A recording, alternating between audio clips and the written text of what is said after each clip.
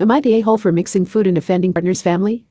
I, 23F Chinese Australian, have been dating Andrew, 26M, half Vietnamese half Australian, for four years, and regularly stay at his place on the weekend. He lives at home with his parents and older sister Haley, 30F. Not too long ago, Haley suggested that since I stay over often, I should start paying them for groceries and bills, though I'm still a student, so they aren't too strict with the amount. I transfer them 50 to $100 here and there to cover my share. His family treats me very well and I respect them. I have been really happy in my relationship, so what happened today was quite shocking to me. Andrew's mother, Louise, 60F, is Vietnamese and cooks amazing food regularly. I love her cooking. Today she had cooked a delicious pork rib and taro soup, and I ate some for lunch.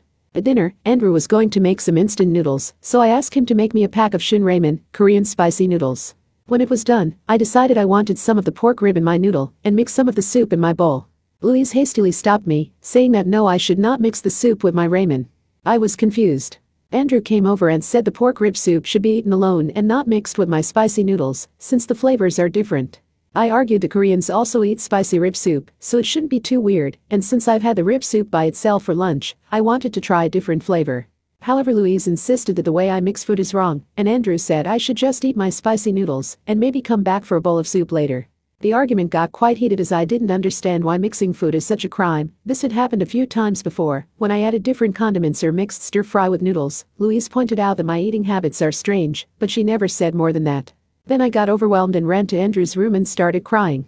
Haley barged in and began yelling at me. She's normally kind to me, but she does have a bit of a temper. Why are you throwing a tantrum in someone else's house? We are feeding you food and you're so ungrateful. I was really upset because I think I did nothing wrong, so in the heat of the moment I stood up and screamed back, I paid for the food, why should you care how I eat? I'm not forcing you to eat what I eat. If I go to a restaurant and pay for a plate of food, you think they kick me out for eating the food wrong? How ridiculous. In the end, I was so angry I packed my bags and stormed out of their house. After Haley got so mad she said I'm no longer welcome at their house, and now I'm on the way home and crying, wondering what I did wrong. It really doesn't make sense.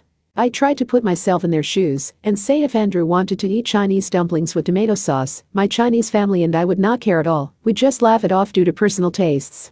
So am I the a-hole for mixing food having different food preferences and upsetting my partner's family?